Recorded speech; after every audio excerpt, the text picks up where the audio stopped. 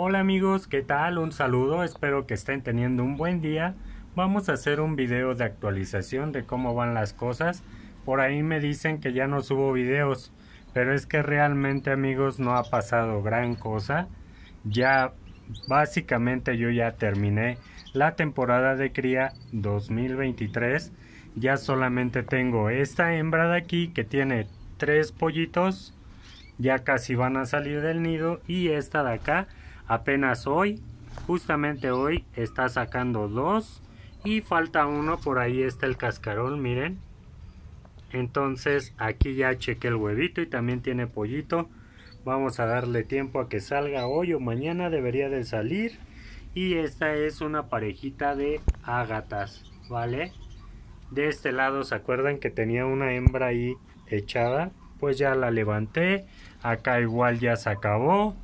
Estos son algunos de los pollitos que subí al grupo de Facebook, amigos. Por ahí, los que me preguntan de canarios, miren, por ahí tengo estos publicados en la página. Entonces este de aquí es un lipocromo es naranja amigos. Acá tengo otros miren que ya casi están por comer solitos. Entonces ya esos prácticamente ya van de salida también. Mis ágatas ahí están. Por acá los espinos y acá tengo dos que están mudando. Acá tengo otra parejita. Esa canaria la estoy dejando poner una vez más. Pero realmente vamos a ver qué pasa. Entonces yo ya terminé. Es por eso que no subía videos amigos. Por ahí me preguntaban que si el canario rojo se puede exponer al sol de preferencia amigos no lo hagan ya que el sol es como cuando tú dejas la ropa ahora sí que en el sol pierde color, ¿no? Entonces la pluma del canario también se quema por el sol. El canario rojo se recomienda pigmentar en sombra, en la oscuridad, casi así en penumbras, para que pigmente mejor. Pero yo aquí como no pigmento bien, porque básicamente de aquí no me voy a quedar más que algunos que son para cría y yo mis canarios para criar, pie de cría, no los pigmento, no tiene caso porque son para mí. Entonces, ahí sí no hay problema. Ya básicamente esto se terminó, amigos. Ya estamos saliendo. También me comentaban los amigos que si se podía poner machos juntos cuando separamos. Yo aquí, amigos, tengo dos machos juntos y de, principio sí se peleaban porque sí se van a pelear. Pero al paso del tiempo se van a ir acostumbrando ellos. Iba a haber peleas, pero no tan fuertes. Entonces, si tú ves que alguno de tus canarios se está lastimando, ahí sí te recomiendo que dejes a cada uno en una jaula, ¿vale? Ese también es un machito que ya está separado. Entonces, ahí no hay más, las hembras las puedes poner juntas, pero no excedas el límite de las jaulas. Yo aquí tengo dos canarios de más, entonces tengan cuidado con eso, si no tienen rejillas sus jaulas, no pongan muchos porque se va a ensuciar demasiado la charola. Miren, yo acabo de hacer limpieza en la mañana y prácticamente ya está de nuevo sucio. Entonces, Vamos a tener cuidado amigos con la limpieza, más ahorita que es la temporada de muda. Ya los canarios ya entraron en muda. Voy a empezar a subir videos sobre los cuidados en temporada de muda. También otra cosa, de una vez que estoy aquí, me, me preguntaron que cómo se le hace si lo que yo dije de limón y tapar la jaula no funciona en las hembras y siguen poniendo. De preferencia, pasen a las hembras en una voladera donde tengan varios. De esta manera la hembra ya no entrará en celo. Si eso no les funciona, amigos, chequense un video de muda forzada. Ahí, como dije, les tienen que retirar dos plumas de cada ala y dos de la cola. De esta manera envían a la canaria a muda forzada. Eso es la muda forzada. pero yo básicamente recomiendo que sea de la manera natural que es bajando las horas de luz y miren por ejemplo yo eh, aquí miren todos mis canarios están con alpiste simple. No tienen ya mixtura. Todos todos están así porque se les tiene que bajar la alimentación para evitar que sigan poniendo. De esta manera, el canario al sentir que ya no hay alimento, por lógica baja un poquito el nivel que traía de celo y ya es más fácil separar y que las hembras no sigan poniendo, ¿vale? Todas mis charolas, todas, todas, inclusive pollos, tienen alpiste, ¿vale? Y vean, por ejemplo, de pasta de cría, a estos dos, vean lo que les pongo, es una cosa de nada. Porque este machito, el Onix, está un poco gordo. Entonces, yo solamente le pongo poquita pasta para que mantenga la muda y no se baje tanto de peso. Pero sí es importante bajarle un poquito de peso.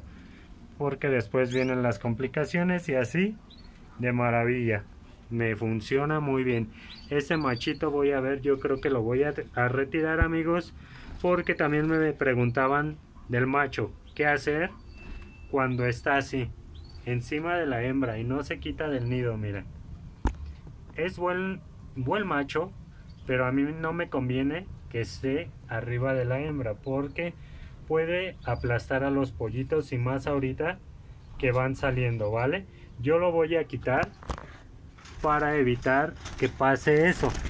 De esta manera ya permítanme es que tengo una sola mano y se me complica tomarlo. Miren aquí está es grande talla grande entonces lo voy a poner con ese otro macho y vamos a ver qué es lo que pasa por ahí tengo una percha ahorita coloco otra y asunto arreglado vale entonces amigos, importante ya, si ya terminaron la temporada, ir separando. Ah, otra cosa amigos, está pasando mucho en los aviarios que los canarios se quedan así. Miren, literal, pelones. Este canario está tirando demasiada pluma, es una gata. Entonces se me quedó peloncito de la cabeza, ahorita le estoy dando tratamiento. Me han preguntado que cómo se le puede hacer para recuperar ahora sí que un canario de la calva. Se les aplica yodo. Yodo es yodo, yodoprovidona, así se llama. Lo consigues en farmacia, es tintura de yodo. Con un cotonete le aplicas en la parte de arriba de la cabeza y solamente son dos veces, dos aplicaciones. Si le quieres dar una tercera que pase más tiempo, este pajarito lleva dos aplicaciones y ya le está saliendo la pluma en la cabecita. Entonces, ¿por qué pasa eso? Porque las aves se debilitan demasiado. Este pajarito casi no crié con él, pero se me fue a replume una falsa muda y ahorita ya está con la otra. Entonces es importante checar eso. ¿Por qué puede pasar eso? Una es esa, de, que se debilita. Dos, es un hongo, puede ser un hongo que traen en la parte de la cabeza y se llama tiña, ¿vale? Otra es la muda francesa, que se puede quedar peloncito, así como los periquitos se pelan todos, todos, podría pasar, pero cuando solamente es en la cabeza también pueden ser ácaros. En este caso yo descarto eso porque desparasito a mis canarios. Este canario se me hace que se debilitó y por lo tanto está en tratamiento y ya se va recuperando, ¿vale? Y de ahí en fuera amigos, eso es lo que pasa, el tratamiento, denle a sus aves si tienen aves ahí así, porque si me han preguntado varios acerca de las calvas y aprovechando dije que iba a hacer un video acerca de eso, pero ahorita yo creo que lo voy a hacer en estos días, esto es lo que yo le pongo, esto yo lo preparo, es para ponérselo en la parte de arriba es como un aceite con el ahora sí la tintura de yodo para que le permanezca más tiempo pero lleva ahorita dos dos veces que le he puesto más o menos en un transcurso de 15 días es lo que le pongo porque esto lleva tiempo, requiere tiempo, no es que le pongas el tratamiento y a la semana ya va a estar como nuevo, ¿no amigos? Esto llega a tardar a veces dos, tres meses, cuatro meses en recuperar la pluma porque hay que recordar que la pluma va creciendo lento. Entonces no podemos hacer milagros, ¿no? Esto es hasta que el ave se recupere y por lo tanto no hay más, ¿vale?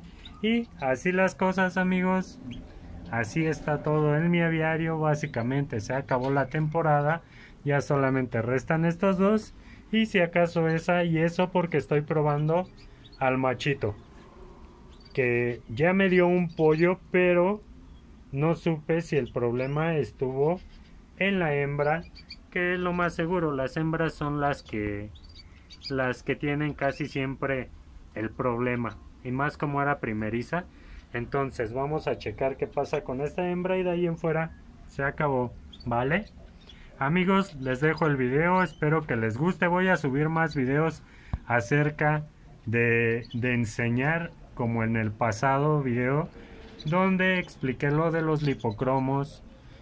El hipocromo, que es el que está hasta el fondo, que brinco para allá, acá está.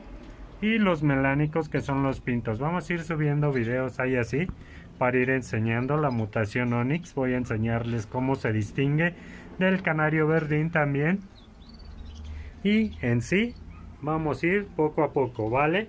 Les dejo el video amigos, espero les guste y no se les olvide suscribirse al canal, ahí échenme la mano suscribiéndose, denle click y